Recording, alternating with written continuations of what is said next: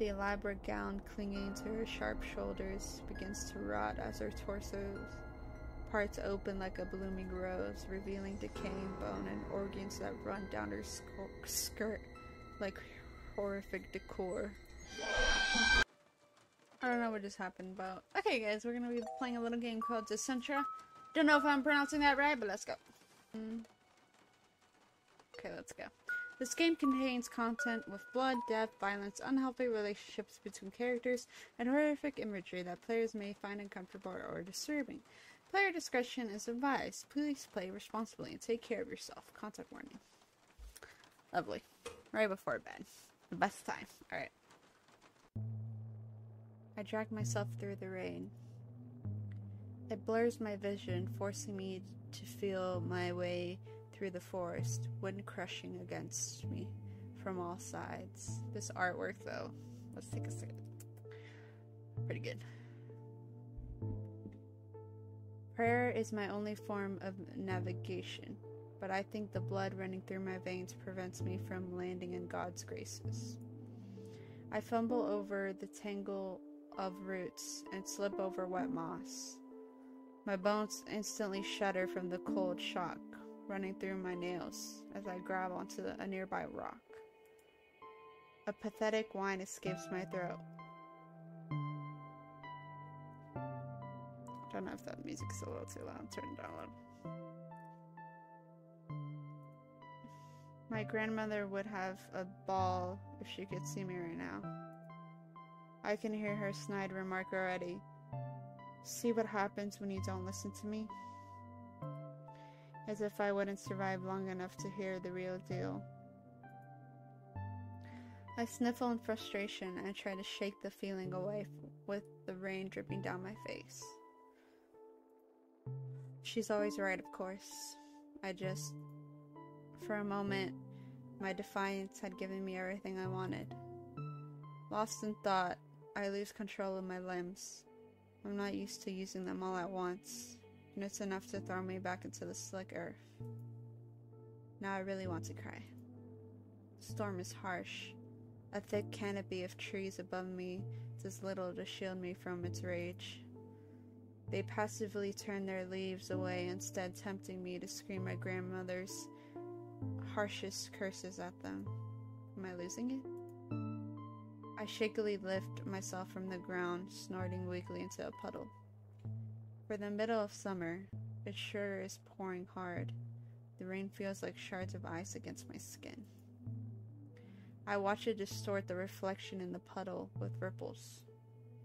In the brief moments where the reflection almost settles, I see piercing yellow eyes, dark fur, wilted ears, sleek and clinging to the small, vulnerable, vulnerable form of a wolf pup. The voice of my grandmother hisses in my mind. What have you done, Basil? I like this. Like, really, the imagery. I need to get back home. I tear away from the puddle and trek on.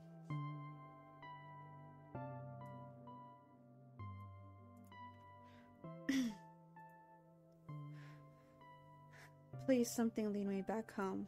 Something. Anything. Maybe that's a risky thing to ask of this forest, though. Because something answers. It's so faint that I question if it's even real. A howl cuts, th cuts through the wind, or perhaps it's the wind that shrinks away from the sound that ambles through. Fighting my way through the storm has exhausted my body. The frontal lobe of my brain begins to neglect its responsibility to remember what reason is. All my instincts scream to ignore it, but my heart, a stupidly curious thing, makes me take a step forward. My fuzzy ears pick up the heavy sounds of my heart pounding. I try to convince myself it's because of the fear. I need to focus on where the howling's coming from. As I get closer to the sound, it begins to resemble crying. The storm has also started to retract its claws. Was it the forest showing mercy, or has it submitted to something more formidable? I've lived in the woods my whole life. I should know better than anyone to never get too comfortable. A red light perforates through the dark at I mean the dark atmosphere. I swallow harshly. There's a mansion in the middle of the woods.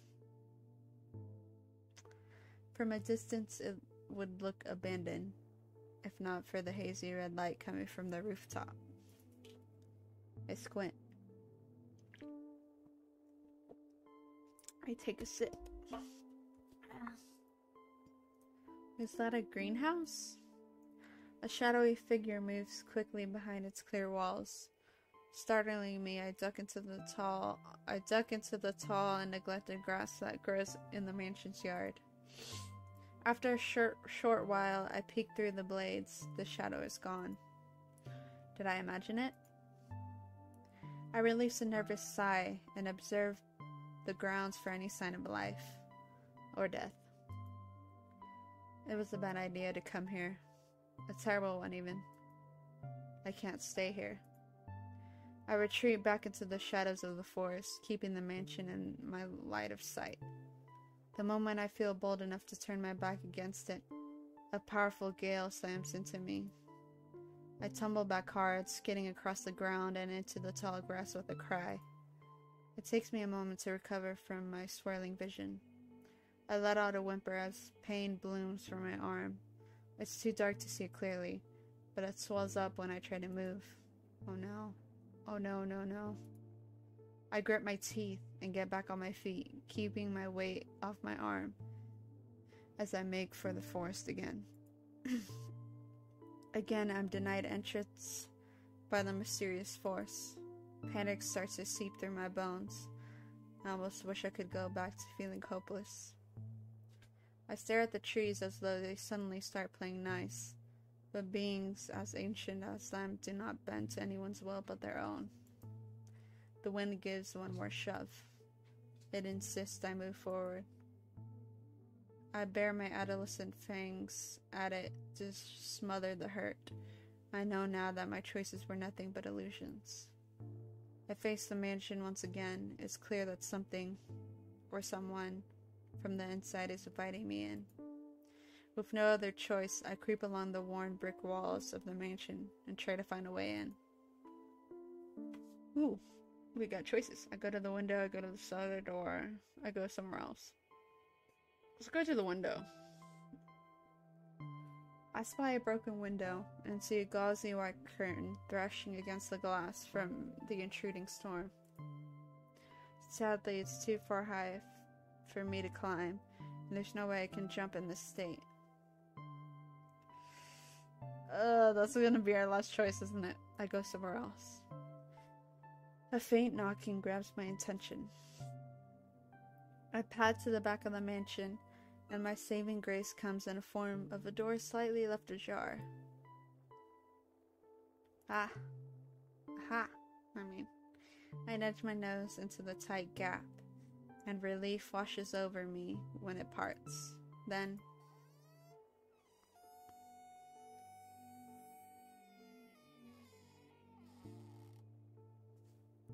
Okay, that was a lot of. Little zero. As an ear. Where am I reading as? An ear-piercing screech echoes through the man- mansion as it hinges, as the hinges begin to shift. From the looks of it, they haven't moved for a long time. the feeling of ice floods my veins. I stay frozen in the doorway. If this mansion is inhabited, there's no way I didn't just announce my entrance. oh, yeah, you're right. Fear takes over again.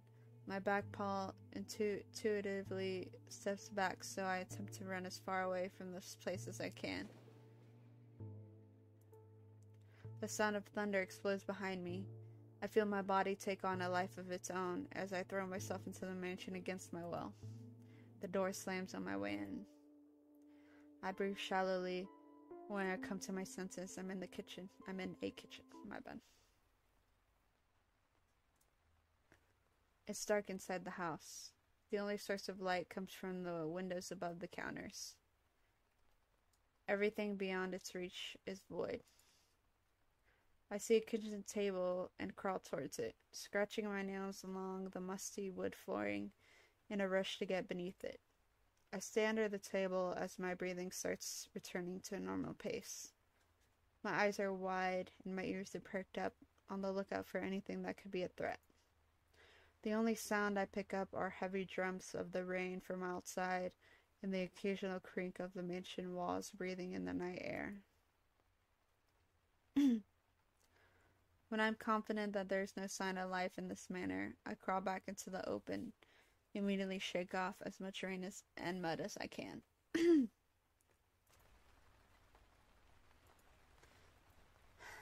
when I'm confident that there's no sign of life inside this manor, I crawl back into the open and immediately. Oh, uh, why am I reading that again? Sorry, guys. I let myself celebrate the minor luxury of finally escaping the maws of the weather, but I don't let my nerves calm down just yet. This is what happens when you don't record for a while and you have to read. My voice is already messed up. If y'all don't notice, I don't talk a lot. My throat feels very uh raspy. It's probably gonna be sore tomorrow. Let's get back to it. As soon as my as soon as soon as my eyes adjust better to the dark, I take my time to study my surroundings more. I notice a hearth that lacks any recent maintenance. Dishes crowd the counter. A thick layer of dust forces me to smother a sneeze. This place hasn't been occupied in a long time. Surely I can allow myself to breathe just a little bit easier in this space at least until the storm wanes. I bring in a deep inhale, being careful not to get any dust, and tread cautiously. As I stalked further in, I held my breath at every corner, carefully looking in all directions for danger. The rest of the mansion is as devoid as life. Uh, oh, is as devoid of life as the kitchen. Most of the rooms here have closed doors. The ones I could see in were graciously empty, sans the derelict furnishings within. Barely anything is in de- decent shape. I couldn't guess how long it's been since a human lived in this manner, but based on the scratched hardwood floors and the broken but intricate looking side table nested in a dark corner, I have the impression that this place was neglected even when while it was occupied. My nails tap on the floor as I limp into the hallway, my mind settling from all the adrenaline. The ache in my front legs starts to swell, and the heat of my body intensifies with the pain. Paintings line the walls from end to end, but it's, so, it's hard to see them in the dark. Through glimpses of light, I can make out some faded landscapes, a few mountains, some castles, and a couple of portraits. One portrait in particular catches my eye. I stop in front of it. I stare at the portrait. Why did it get so quiet? Kind of scared me. Okay. I stare at the portrait, foolishly thinking that it's staring right back. Surely it's just a slight fever settling in and making me come up with silly things. I don't think I've lost my mind just yet, though. As I observe the side profile of a pale woman, I notice that she's eerily the most realistic painting I've seen so far. When she turns her head to look down on my tiny form, every hair on my body goes stiff. Her lovely features captured in oil begin to melt off as she steps out from the painting. Smooth ivory skin shrivels to deftly pallor. The elaborate gown clinging to her sharp shoulders begins to rot as her torso parts open like a blooming rose, revealing decaying bone and organs that run down her skirt like horrific decor. Okay. I immediately start running away as fast as I physically can. Mango, don't start crying, you're scaring me. As I scramble to get away on my hurt leg, I hear something that might be worse than a ghost. The woody and spicy scent of incense fills the humid air, creating a hazy purple fog. The sound of change, chains moving in a controlled rhythm rattles me to the marrow in my bones. Footsteps follow shortly after, growing louder alongside the clinking chains. It's coming from the staircase. My breath quickens. I slide to a halt and backtrack away from the sounds. I look behind me and see the glowing apparition of the woman hunched from form stumbling towards me, dragging a trail of gore with a wet squelch. Squelch. Hide. I need to hide. But where? My eyes dart across every inch of the hallway, desperately searching for a small sanctuary.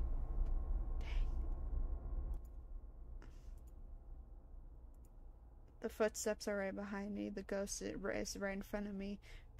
This hallway now feels like a tomb. All of the doors are firmly shut. I press against the wall, my heart skipping a beat when I notice a faint tapping sound coming from behind me. I turn around and witness the outline of a door revealing itself. I waste no time shoving my muzzle between the crack to wrench it open. What are y'all doing, little babies?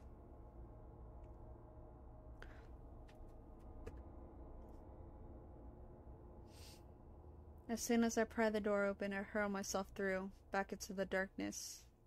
I walk backwards away from the door, keeping my eyes on it. I'm so focused on the door that I bump into something cold and I almost trip over it. I look up and see a dark iron staircase curling up to a high ceiling.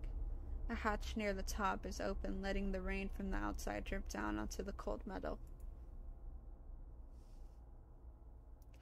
I hear footsteps once again, this time much louder. I don't dare to breathe or move.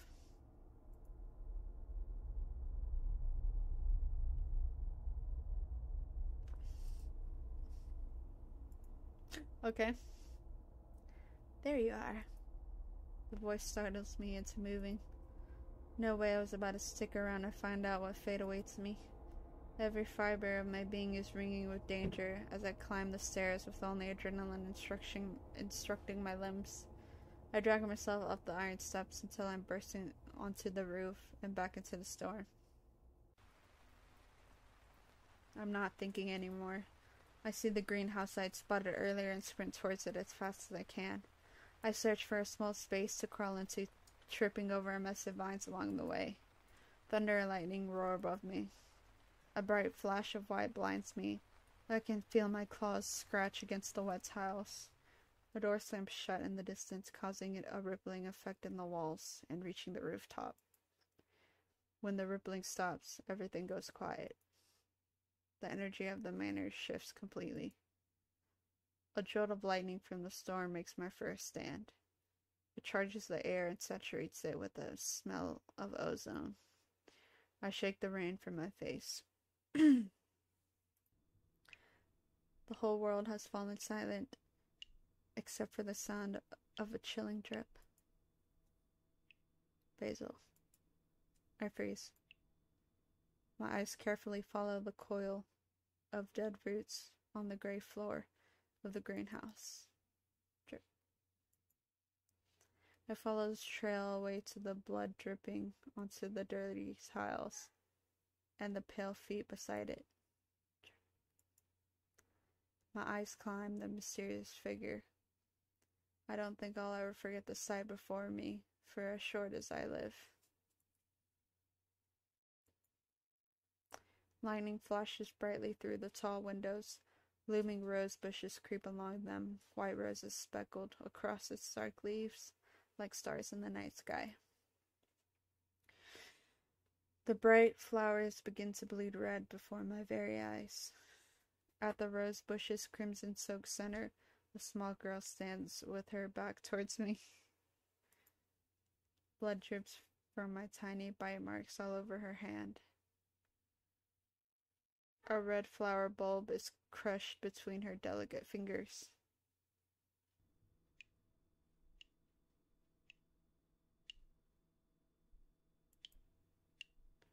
Instead of a strong floral scent, the smell of burning paper and wilting lilacs flood my senses. A whine unwillingly crawls up my throat and cuts through the silence. Time resumes once again. The girl turns, her gaze piercing right through me. The bulb drops from her hand. She doesn't say a word. Her attention is mine against my own will. Black dots, black dots begin to appear in the corners of my vision. The last thing I saw was her walking towards me before everything faded to dark. My fever is brutal throughout the night. I slip in and out of consciousness to flames beneath my skin and an ache I'd rather sleep off than face. I try to let my body go back to sleep, but strong hands force my jaws open and shove something down my throat. The intrusion makes me violently resist, but I'm far too weak to fend the intruder away. The dark takes me into its takes me into its arms once again. I wake to the tang of rusty metal and humid humid air. The unfamiliar sensation makes my eyes snap open. Beyond the small cage that holds me, it's dark and damp. I clench my jaw as I examine my surroundings. Soon my eyes fixate on the ghost staring at me from outside my metal prison.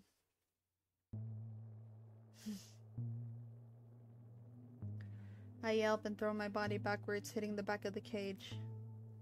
I expect the bite of hard metal on my back, but something smooth bends around my shape instead. It hisses at me in response. I don't think I like that very much. My claws scrape the cold floor of the cage as I spin. The bars behind me morph into slithering vipers in defense stances, each one barring their, baring their fangs in anger. Careful. Their venom will make the blood in your body solidify in seconds. That wouldn't be a very pleasant way to die. I look at the ghost in horror. They're breathing so quickly that I'm convinced I'll die from lack of oxygen, or so I think. The vipers settle back into the metal bars, and I make myself small. I don't want to risk testing their patience again. The ghost is not a ghost, but a girl. Her hair looks like ink that's violent, been violently knocked over and spilled onto the floor. It melts into the dark surroundings, contrasting her gray and sickly looking skin. Her expression is blank. I see her hands tightly clutching her white gown. Do you bite? Do you? I want to ask. I reveal my teeth through a snarl and watch as she shows hers with a small smile. The fur along my spine stands up. She starts to move and I flinch. The girl crawls towards the cage and I curl my nails. She reaches for me, a pale hand passing between the bars without resistance. It freezes right in front of my snout. She's checking to see if I would really bite. Has she no fear, offering her hand so fearlessly in the presence of a beast? I may only be a pup, but the sneer force of my jaws can pierce right through her palm. Oh, I repel. I pull my face away from her hand and see her startle from my peripheral vision. She pulls her hand back and holds it against her collar. My eyes lock with hers as she, as she stares at me with her lips pressed together. It'll be hard for me to protect you if you're too scaredy cat to do as I say. My eyes snap back to the girl. I watch as she stands up and wipes her hands on her dress, not showing a single care about how dirty it's become. If you want to survive, you'll have to listen to my instructions, okay, doggy? She tilts her head like she expects me to respond. Don't try to be too brave.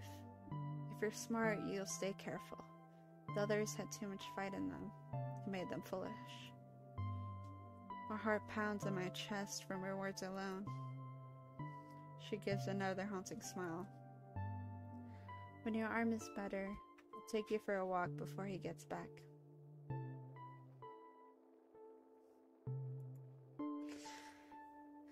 Is this what she sounds like when she's excited? It's unsettling. She suddenly moves closer to the cage again. I jump and back away, just enough where I don't risk getting in trouble with the vipers again.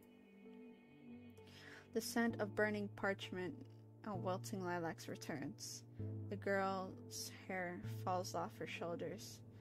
I expected ink to trickle down and dye her dress black. My name is Dove. Horrible to meet you, Dove. what is that? Chapter 1 Roses? I spend the night nursing the, the dregs of my fever. Need a little sippy sip? How long have I been reading? 27 minutes. That can't be.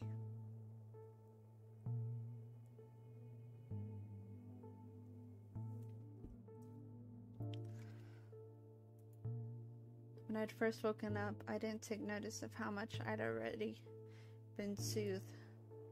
But now vague memories of violating hands surface in my thoughts.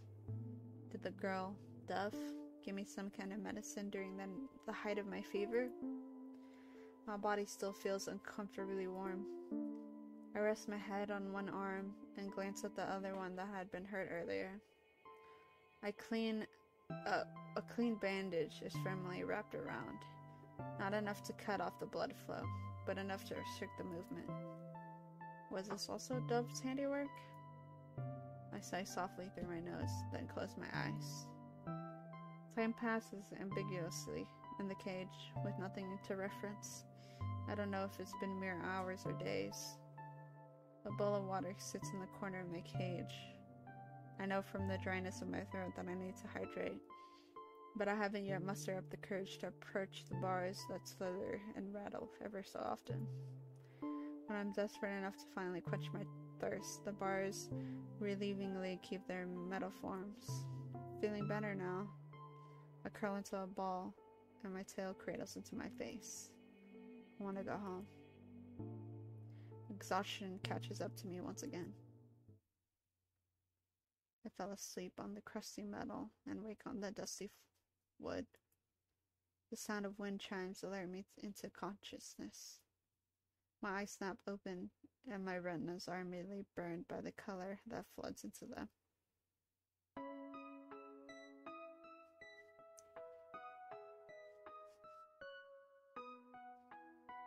I don't know how long this game's supposed to be. I thought it was like short 15 minute.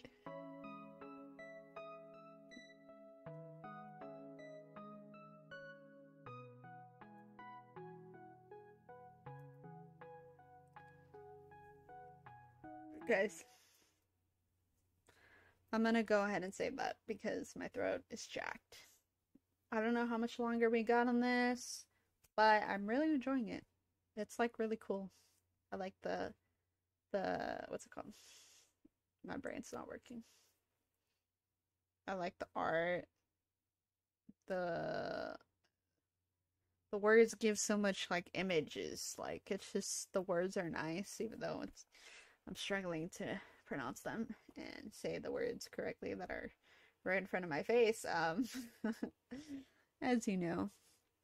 Anyway, I'm really enjoying this. Um let me know what y'all think. And we'll see what happens in the next one. Don't forget to like, comment, subscribe. Go check out my other videos. And yeah. See y'all later. Hope y'all having a great day. And if you're not, hope it gets better.